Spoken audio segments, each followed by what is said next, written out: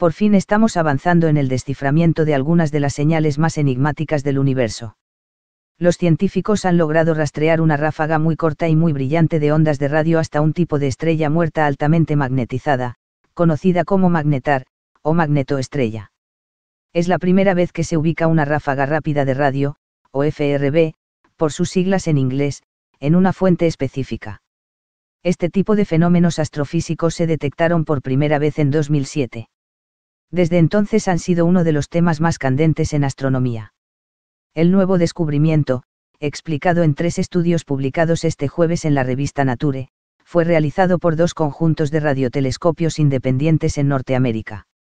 Las observaciones, coincidentes con las de otras instalaciones astronómicas tanto en el espacio como en tierra, ayudaron a caracterizar el evento y fortalecer su interpretación. La fuente del magnetar es designada por los científicos con la compleja fórmula SGR 1935 2154. Está a unos años luz de distancia, lo cual es interesante porque hasta ahora todas las detecciones anteriores de este tipo de ráfagas procedían de fuera de nuestra galaxia, la Vía Láctea. Las propiedades de las recién detectadas en nuestra galaxia, sin embargo, son muy similares a las de otras ráfagas rápidas que se producen más allá de la Vía Láctea. El evento ocurrió el 28 de abril de este año. Duró alrededor de un milisegundo, pero fue extremadamente luminoso. Pudimos determinar que la energía dispersada es comparable a las energías de ráfagas rápidas de radio extragalácticas. En apenas un milisegundo, este magnetar emitió tanta energía en ondas de radio como hace, nuestro, Sol en 30 segundos, explicó Christopher Bochenek, quien dirigió el diseño y la construcción de la red de receptores de radio Stare 2, que se extiende por California y Utah. Ya en 2007 los magnetares eran los principales sospechosos del origen de las FRB.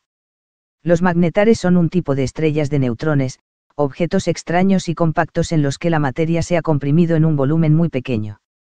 Es un estado al que pueden reducirse algunas estrellas normales cuando se quedan sin combustible y colapsan sobre sí mismas. Los magnetares, como sugiere el nombre, tienen campos magnéticos intensos, billones de veces más que el campo magnético de la Tierra, por ejemplo. La teoría sugiere que estos objetos pueden disparar enormes cantidades de energía que luego chocan con su entorno, lo que a su vez genera grandes emisiones en radio y otras longitudes de onda.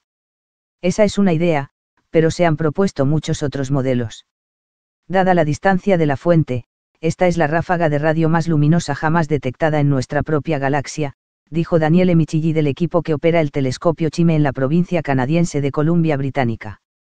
La luminosidad es aún menor que la de las ráfagas rápidas de radio, provenientes de fuera de nuestra Vía Láctea, pero demuestra que los magnetares pueden liberar una gran cantidad de energía de radio con propiedades como las de las FRB, lo que implica que al menos, algunas, FRB provienen probablemente de magnetares. Bin Zhang, quien trabaja en el nuevo radiotelescopio gigante de China, el observatorio FAST, las siglas en inglés de telescopio esférico de 500 metros de apertura, también llamado Tianyan, dijo que se están investigando otras posibles fuentes de FRB.